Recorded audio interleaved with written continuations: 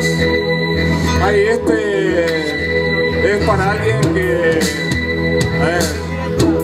eh, todos agarramos y admiramos mucho y bueno, está ahí pasando un momento complicado. Bueno, vamos a tirar una energía entre todos desde acá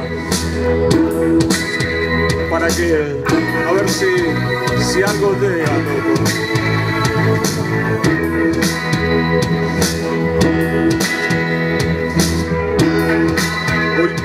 estás espléndida y que todo lo ilumina, demos un paseo. Revuelta